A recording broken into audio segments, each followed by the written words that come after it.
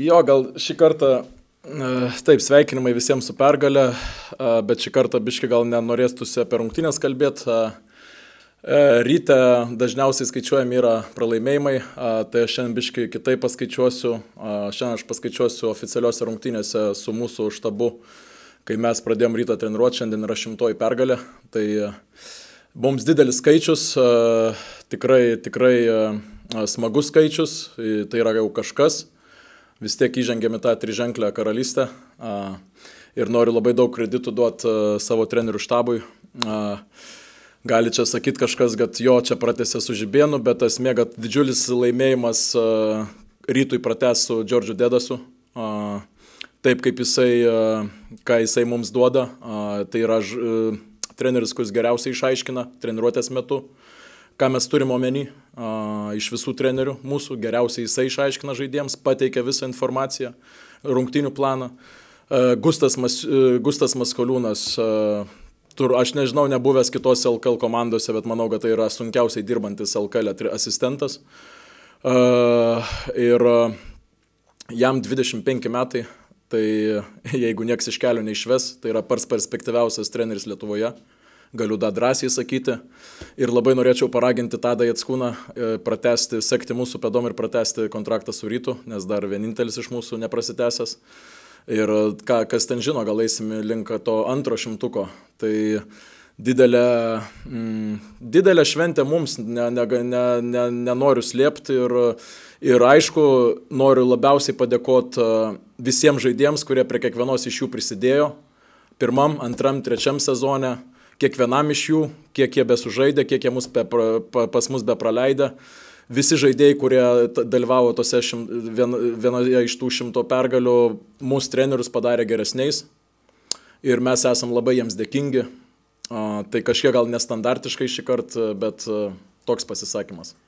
Treneri, koks buvo tas kelias iki šimto pergalių? Kiek jisai sunkus buvo, kiek permainingas, ką turėjot praeiti per tai?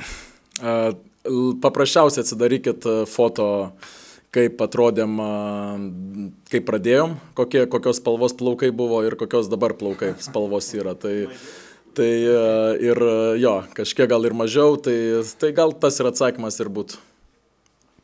Gal į šias rungtynes truputį sugrįžtam.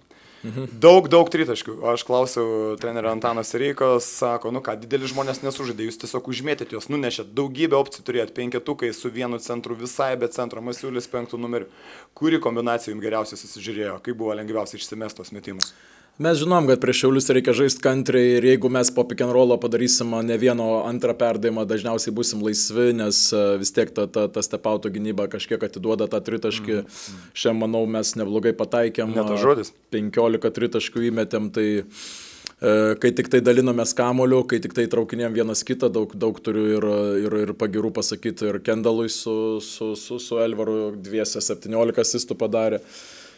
Tai e, tas turbūt mums leido, kad dalinome šiandien kamoliu, tik tai nepatenkintas gal tuo pirmu kėliniu, kur šiek tiek labai taip mėguistai pradėjom ir, ir, ir žaidėjom norisi išaiškinti, kad e, dabar, kai rungtynės kas trečią dieną, tai yra mūsų realiai pagrindinės treniruotės yra rungtynėse.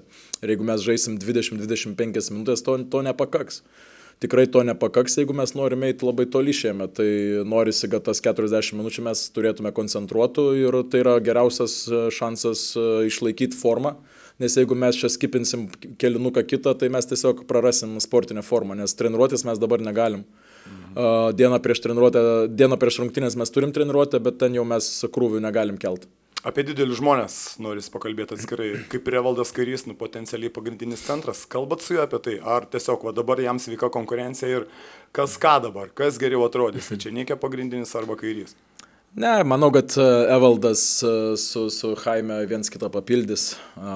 Kažkokio labai ar tu, ar, ar vienas ar kitas pagrindinis, neaišku. Aišku, Jaime reikėjo šiandien pasijausti e, šitoj mūsų aplinkoje, prie komandos narių, kažkiek per daug nesitikim iš jo. Uh, Pirmose keliose savaitėse tikimės iš jo playoffuose, o kaip ten bus, kas ar ten nukonkuruos ar nenukonkuruos, mes labai daug, per daug neskaidom, pagrindinis ar atsarginis, tai manau, kad viens kitą papildys priklausomai nuo varžovų. Treneri, kokios formos atvažiavo Jaime ir, ir ką jisai duos komandai, jūsų nuomonė? E, neblogos jis tos formos atvažiavo, aišku, nežaidęs jis e, gal du mėnesius dabar yra be rungtynių, bet jisai formą palaikė. A, tikrai be jokio viršsvario atvažiavo, viskas, viskas tvarkoje, aišku dabar yra jis be kojų, nes realiai tik iš, iš lėktuvo, to, tos ir tas jetlagas vadinamas, tai nesitikėkim daug, šiandien toks out of balance biški atrodė. Kaip čia išsireikšti kažkur, bet, na, nu, šiaip tai mums, manau, kad įneš kitokių spalvų, matot ir, ir tas veidas kitas, ir šypsena kita, tai manau, žiūrovai jau, jau pamėgo nuo pat pirmų rungtynių. Ir, o aš kaip treneris, ko labiausiai tikiuosi, kad jis paliftins mus gynyboje kalbėjimu, nes matosi, kad tikrai vokalus žaidėjas ir norisi, kad jis tą, tą pavyzdį visiems sėtų. Kiek jaučiasi, kad Jaime kurį laiką nėra žaidęs europietiško krepšinio? Jaučiasi kažkiek sunku pasakyti, vieną treniruotę turėjom ir, ir, ir šiandien rungtynėse, bet e, kas, kas iškart jaučiasi, kad krepšinį tikrai tas e, IQ yra tikrai aukšto lygio, nereikia jam kartuoti 2-3 kartus, iškart prie pick and roll gynybo labai greit gaudosi, paklausia, iškart reaguoja ir, ir, ir manau bus malonumas su juo dirbti. E, žmonės, kurie nežaidė šiandien, potencialiai galės startuoti kitą mačią. Kita situacija, kada, kada Tomas grįžta, kur yra dar vienas jūsų aukštaūgis, šiandien irgi nebuvo Varadi, neregistruotas. Mhm. Varadžio gal, klausimas kažkiek gali užsitęst, uh, nes išvarža turi šiokią tokią, mhm. ne, ne, ne labai stipri. E, o Lekūnas jau sportuoja su komanda pagaliau. O, o Gorhamas yra išvykęs pas šeimą, jam gimė dukrytė.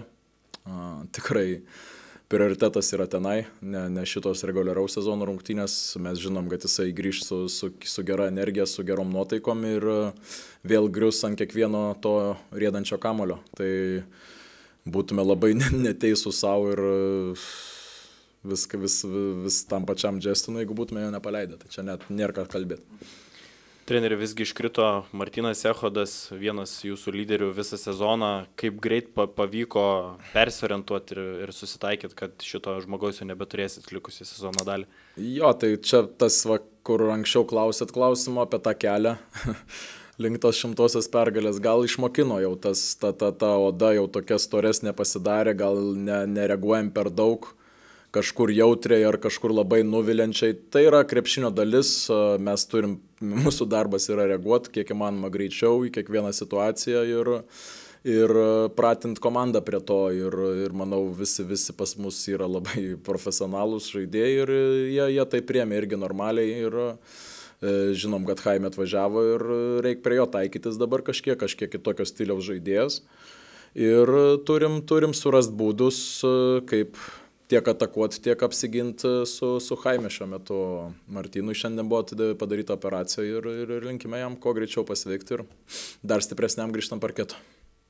Treneri, kiek dabar apskritai gyvena tokiam, nežinau, off-season nuotaikom, ne pasirašymo templiofam, du žaidėjai atvyko kovo mėnesį, Georgiamas išvyko, dabar Jaime, apie tą procesą, kaip vėl, ar tenka iš naujo lipdyti tą komandą, tą žaidimą, kaip vyksta tas darbas viduje?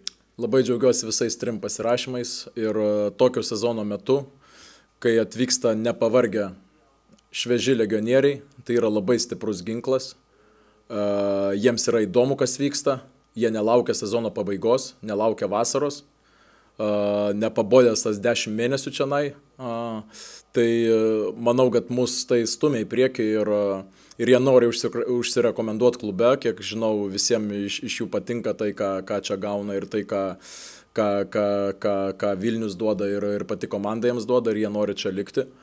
Ir, ir žiūrėsim, aišku, per daug tų iksiukų ir nuliukų uh, spręsis po sezono ir aišku, kaip jie atrodys playoffuose spręsis, bet šiaip tai labai jie yra motivuoti ir tas labai mus stumia į priekį. Nėra nuobodžių treniruočių. Užsiminėt, kad vienintelis Jatskūnas dar neprateisė sutarties. Kokiais būdais bandote įtikinti šitą vyrą ir išlaikyti tą čempionišką nu, štabą? Nu, čia... nu va, vienas iš būdų čia, na, jau, žinai, viešai pasakyti, o kitas būdas nežinau. Eiti reikia dar į ofisą ir, ir kalbėti, paraginti, nes tikrai be jo mes, mes kažkur tikrai susistabdytume kažkur, kažkur įvyktų stabdis. Uh, reikėtų kažkokį naują žmogų įvesti visą tai, o dabar esam susidirbę iš, iš pusę žodžio, vienas kitą suprantam, nėra jokių, ateinam vis laik labai anksti į treniruotę, prieš treniruotę jokių nėra pi dėlinimų, yra tik tai darbas. ir, ir tas mus stumia į priekį. Kada Georgiamas grįžta atgal? A, tai tegul Jonava aiškinasi.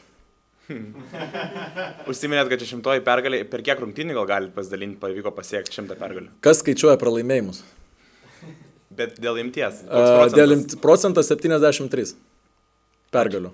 Lietuvos čempionai, neužmirškit, ne šiaip savo, kad žaidžiam, čia rytas, dar kažkas kažkam pralašė. Jie yra Lietuvos čempionai, šiaip netampama čempionais be, be gero žaidimo, be geros komandos. Mes bandėm spręsti savo užduotis, mes turim savo problemų. Išgirdau iš žaidėjo ir man baigėsi tas žaidimas, kai išgirdau iš žaidėjo, kad tai pirmą užtvarą sakėt stumt. Sakau, prieš šešias rungtynės šitaip darėm. Negaliu patikėti, kad žmonės gali taip tiek suprasdami krepšinio eiti žaisti profesionalų krepšinį. Tai va, ir nusviro rankos, paskui čia jau matėt, trečiam gelniukė ten žaidė mūsų tas vaikas. Jaunas, čia, čia nebebuvo kovos. Čia buvo tik tai toks analizė, kas gali dar parodyti blogesnių savybių. Kur tiesiog elementaru, kur reikia atsistoti, kad čaržas, dar kažkas. Bet ne naujiena, mes per treniruotės net mokom, kad nugriūti duoda asistentai tokių pratimų, kad po šilpuko nugriūtų aukštėlį, nes čia dabar bėga tas naujas žaidėjas atvažiavęs, jisai varosi tiesiai pusė aikštelės, niekas negali atsistoti. Man, man ir ką sakyti. Nepykit, nei jūs, nei žiūrovai. Rytas, pirmi du keliniai, tritaškių gausa, antroji rungtynių daly panaši situacija, Ehodo nėra, Gorgemo nėra, nu, rodosi, mažiukai turėtų traukti ir jie metė tritaškius ir kažkaip neišgaudėt jų metikų. Metė, metė, metė, jie vos ne 50 Galima procentų. paklausiu, sumetė. Žilvinai paklausiu, jūs kaip treneris, jūs sakytumėt, kad turim, Šiaulių komanda turi 2-10, 2 žaidėjus tokius. Tai duokim ten kamuolį. Ką, ką jie padarė? Kalbos nėra. Ką jie padarė? Nesakėm mes, taip sakėm, bet kad jie gauna atmetą arba neįmeta iš pogrepšio, tai žaidėjai supranta, kad daugiau jiem nereikia duoti, nes dar daugiau čia duos ir paskui reikia iš pogrepšio neįmeta, reikia grįžti gintis, tai perbėga tas stambuolis paskutinis už 10 metrų. Bėgi padėti į pagalbą, iškart kamuolys suvaikšto ir, ir gauni tritaškį. Donatas Sabeckis, 2 minutės 4 pražangos. Kaip jautėsi jis ir kaip jūs keitėt žaidimo planą su Jacksonu? Pirmą kartą man gyvenime buvo, su Jacksonu kartais gaunasi neblogas žaidimas, bet labai blogai žaidėte aukštą ūgį. Jam reikia pastatyti užtvarą gerą, kad išeitų didelį išvestų, užmesdavo jisai tos aliejupus ir šiaip paduodavo kitam. O šiandien niekas nesigauna. Nei ten užtvarą, nei, nei, nei jisai tas mažas gerai žaidėjo, bet man labiausiai nepatinka dideli kaip žaidė. Bet Donatas pabaigoje išėjo ten ketvirtam kelnys sujudėjo visai gerai, Ja, kamuolys tai jis- sujudėjo, metimai laisvė atsirado. Jo, tai jisai geroj formai ir buvo. Kodėl jis, tai, jis įbaudavo, kodėl jis ten sako, tai nieko nedariau, tai nušvilpė. Man sakiau, tokie pasiaiškinimai netinka. Jeigu šiai teisėjas nušvilpė, tai tu turi priimti, kad te kažką netai padarai. Nu, gali vieną kartą suklys, bet ne keturis. Taip, kad aš neturiu jam pateisinimo ir kas jam ten buvo. Šiaip tai jisai ruošiamės rungtynėm, jisai geroj tokioj kondicijai, formai buvo, pataikė tolimus metimus, viskas gerai, reikėjo daugiau kantrybės ir proto. Ko trūksta komandai reguliariojo sezono pabaigoje? Kaip tą aštuntuką pasiekti? O Gal ir daugiau, devynerios rungtynės viena pergalė.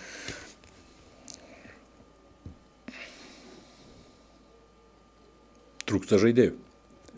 Labai, labai jaučiasi mums bet kokio žaidėjo iškritimas, arba jeigu nesužaidimas, turim, kad ir du tos didelius, bet jeigu nors vienas nesužaidžia, nėra nei užtūro, nei kailių, nei ten stankievičių nesigauna nieko. Nėra e, dar vieno aštraus žmogaus, kuris galėtų draskyti gynybą. Tai varno nėra. Nu, negaliu aš sakyti, kad ar negerai, ar kas nors blogai sužaidė, baslykas, vis vaikinas labai stengiasi, viskas gerai. Bet jis nėra tokio greičio, kad galėtų vat, pritraukti, kaip jie žaidė. Kaip jie žaidė. Jie traukia į vidų ir perdavimas laisvam žmogui. Kaip metime. Taip. Tai duokit dar vieną tokį žmogų, žaisim lygiai. Nu, dar vaiką pagirsit man tą Litviną. Vaikas savo vietoj. Džiaugiuosi aš aišku už tos vaikus, kad jie išeitų ir stengtųsi, tai aš būčiau laimingas.